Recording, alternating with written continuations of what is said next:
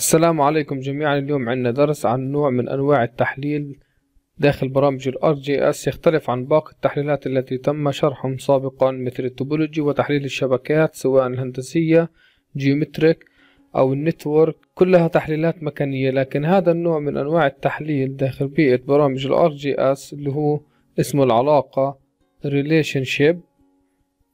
يتم فيه ربط جداول البيانات مع الطبقات وعليكم مقال نظري رابط المقال في وصف الفيديو موجود. خلينا نبدأ الشرح النظري ثم ننتقل إلى برنامج ال ArcMap.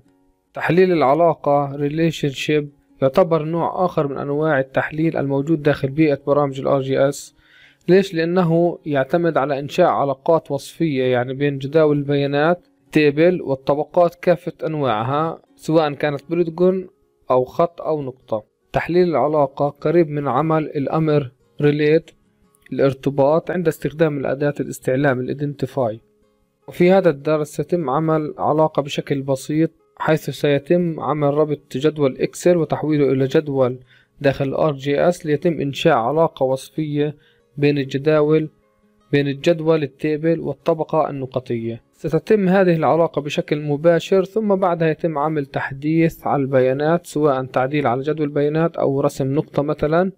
قبل الشرح هناك مفاهيم علينا فهمها أولا ثم ننتقل إلى الشرح العملي.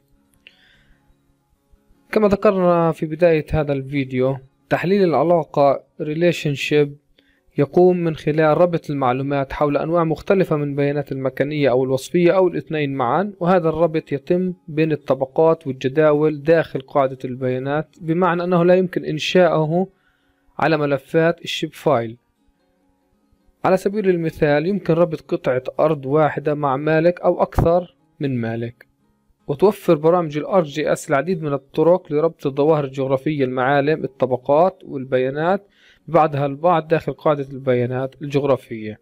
قبل إنشاء العلاقة الوصفية الأفضل أن يكون العلاقة المكانية بين الظواهر الجغرافية قوية. كيف من بتتم هذه العلاقة؟ من خلال إنشاء توبولوجي أو الشبكات الهندسية كافة. عندنا مثال آخر عن تحليل العلاقة. مثلا يمكن إنشاء علاقة بين بناء موجود في قطعة أرض وعند الحديث عن البيانات الوصفية أيضا يمكن ربط الرمز البريدي أو الكود الحي السكني بقطعة الأرض. طبعا في عنا ثلاث أنواع من العلاقات بين الظواهر الجغرافية وبيانات نظم المعلومات الجغرافية تحديدا داخل برامج ال RGS في عنا علاقة واحد لواحد وعلاقة واحد لمتعدد ومتعدد لمتعدد. باختصار واحد لواحد يعني مثلا المريض في له سجل خاص فيه وهذا السجل بس فقط مربوط في هذا المريض يعني ما بي ما بصير يكون سجل مريض هو نفسه لمريض آخر كل مريض له سجل واحد. أما علاقة واحد لمتعدد لكل مدرسة طلاب ولكل طالب مدرسة. فمنلاحظ أنه المدرسة واحد والطلاب متعدد. أما علاقة متعدد لمتعدد يمكن أن يملك مجموعة من الأشخاص مجموعة قطع أراضي وهناك أكثر من قطع أراضي بيملكها أكثر من شخص. طبعا عشان نقوم بإنشاء هذا النوع من التحليل في عنا واجهات بتظهر لنا عند الإنشاء. الأفضل أنه يتم قراءتها وفهمها قبل البدء في الشرح العملي. ننتقل إلى الأرك ماب في عنا مجموعة نقاط وفي عنا جدول إكسل. في عنا المحافظة الاسم رقم الهاتف العمر الحالة الاجتماعية. طبعا الحقل الخاص في المحافظة من مية واحد لمية وحداش هو نفسه موجود في الطبقة النقطية. لذلك أهم إشي في العلاقة عشان يتم الربط بين الطبقتين أو أكثر أو بين جداول جدول Excel أو table لازم يكون عنا حقل مشترك. عنا الحقل اسمه ID هو نفسه موجود في اسم المحافظة. نقوم بإنشاء تحليل العلاقة relationship من خلال قاعدة البيانات الجغرافية. نعمل right click عليها. بعدها new ونضغط على relationship. أو مثلا من خلال ال dataset نقدر نعمل new relationship. هذا أول واجهة. نقوم بإدخال اسم العلاقة نعملها test في عنا طبقة الأصل اللي هي جدول أو طبقة أو ظواهر جغرافية معالم. وفي عنا النوع الثاني اللي هو الوجهة أو التابع يعني بده يكون التابع للأصل. عندنا الأصل اللي هو طبقة نقطية طبقة التابع اللي هي جدول ال Excel. طبعا جدول ال Excel أنا لازم بالأول أقوم بتحويل جدول ال Excel ل table نعمل cancel بنروح على ال ArcToolbox على أدوات التحويل. في عنا ال Excel في عنا Excel to table نختار جدول ال Excel تمام. مكان الحفظ.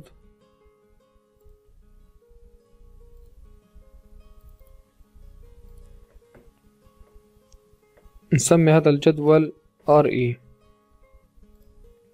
نعمل okay هيك إحنا قمنا بتحويل هذا الجدول ال Excel أو ملف ال Excel حولناه ل table داخل برامج داخل بيئة برامج ال ArcGIS لو عملنا right click و open لنشوف آه، الجدول البيانات الخاص بهذا الجدول اللي تم تحويله.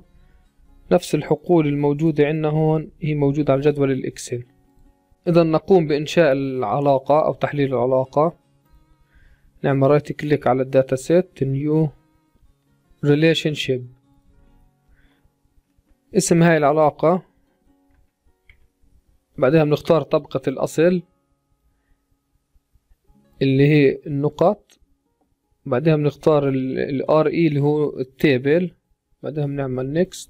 طبعا راح تكون هاي العلاقة اللي راح ننتجها راح تكون بسيطة. فبنختار الخيار الأول. أما الخيار الثاني اللي هي للعلاقات المركبة بشكل معقد أكثر. ممكن يكون مثلا عندنا دولة بتتكون من محافظات المحافظة بتتكون من تجمعات سكنية بلدات يعني والبلدات كل بلد بتتكون من أحواض والأحواض بتتكون من أحياء والأحياء بتتكون من قطع. هاي يعني تعتبر علاقة معقدة أو مركبة. فإحنا راح يتم عمل علاقة بسيطة. نختار الخيار الأول. هاي الواجهة الأفضل نخليها بشكلها الافتراضي. بنروح على next. بعدها بنختار نوع العلاقة. طبعا إحنا العلاقة بدنا نعملها واحد لمتعدد. نعمل next. طبعا هون هاي الواجهة في هاي الواجهة خاصة في إنشاء الجداول البيانات. إحنا ما بدنا نعمل جداول. نعمل no نختار next نختار الحقول المشتركة. في عنا ال ID عنا الحقل الثاني المشابه له أو المشترك اللي هو المحافظة. ونعمل next عندنا هاي واجهة الملخص بما تم إنشاؤه في هاي العلاقة.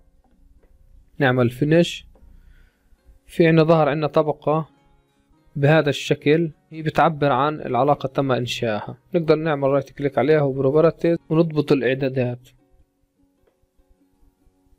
نعمل cancel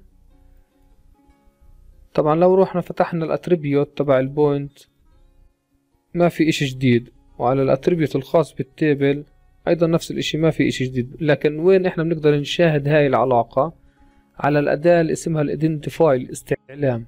بمعنى لو ضغطنا على هاي الأداة identify رحنا مثلا على هاي النقطة.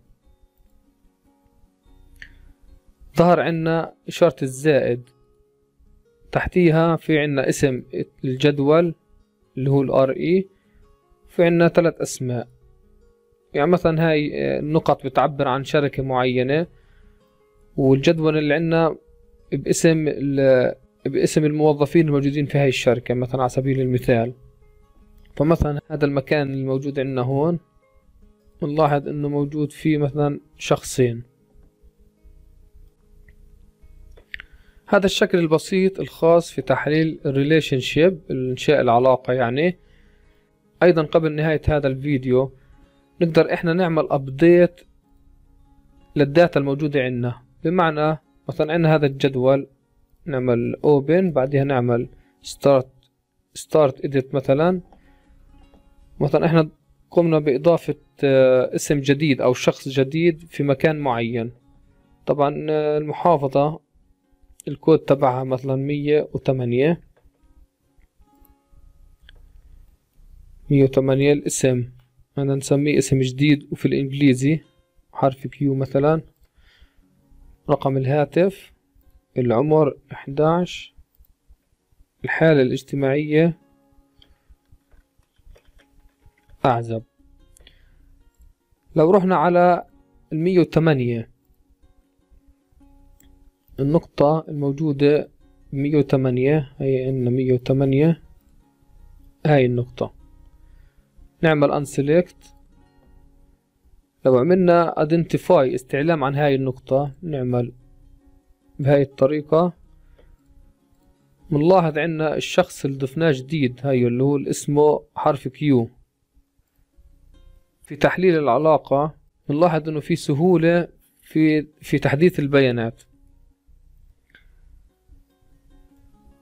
طبعا زي ما إحنا ربطنا جدول في طبقة نقطية بنقدر إحنا نربط آه، طبقة مثلا مضلع بطبقة خطية أو خط بنقطة أو مثلا جدول Excel في polygon. يعني إحنا بنقدر ننشئ هذا التحليل على أكثر على كل أنواع الطبقات والبيانات داخل قاعدة البيانات الجغرافية.